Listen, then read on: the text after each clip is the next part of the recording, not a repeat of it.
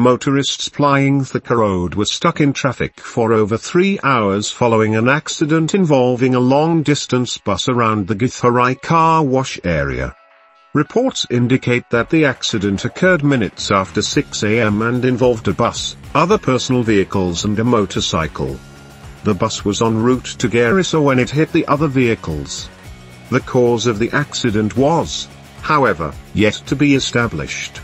Speaking to News 54, a motorist who was at the accident scene indicated that rescue operations were underway with over three ambulances rushing injured passengers to the hospital.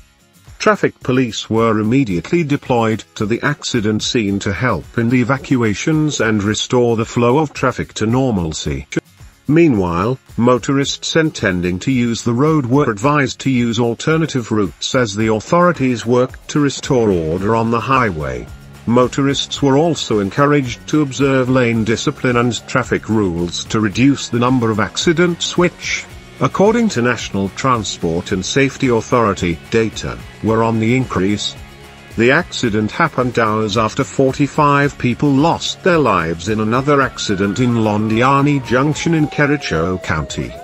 A trailer reportedly lost control on Friday, June 30th, at around 6 pm and rammed into seven vehicles before running over a number of pedestrians.